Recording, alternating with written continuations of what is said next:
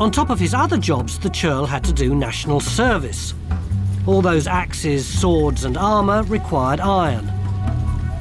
And that created another terrible job the bog iron hunter.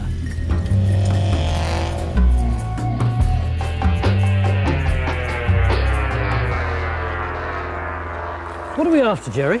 What we're looking for, Tony, is, is, is a stuff called bog ore. It's the, the, the iron ore that was used certainly in the Saxon period. In Saxon times, bogs were the main source of iron ore for smelting. The wetlands were where the ore had developed across millions of years. It then just had to be found. Who the guys have been who would have been doing this? Probably at the very bottom, I think. I mean, it's a mucky, hard, endless job because they would probably be needing, possibly when they were doing a lot of iron smelting, 30 or 40 kilos a day. It's all right for us because we've got wet weather gear on, but they wouldn't have had anything. Oh, it's, it's, it's a thankless task because obviously the iron smelter was dependent on getting his iron ore.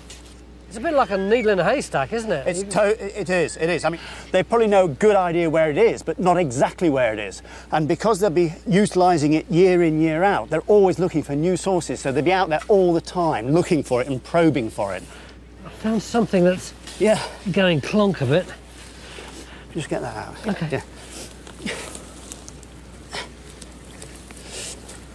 Yeah, that's the sort of thing that we're looking for. You say sort of thing. Is it it? It is. I mean, it doesn't look like anything special, but that is bog ore. How much metal do you reckon there is in there? Well, I think if we were going to do a, a smelt tomorrow, we'd probably need another 10 or 15 of these.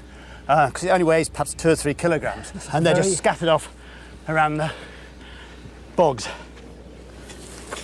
It's a frustrating job, isn't it? It is, it is. This was a back-breaking and thankless job. Out in all weathers in places like this. Four or five more lumps like the one we got, and I'd have enough for an axe. Being a bog iron hunter might well have been miserable, but they were lucky compared to those who had to use the finished article. In the Dark Ages, very few jobs paid money. Like the churl, most people just worked to live. But there were some specialised jobs. Someone had to work metal. Not everyone could do this.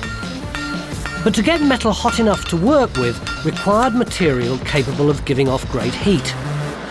Charcoal.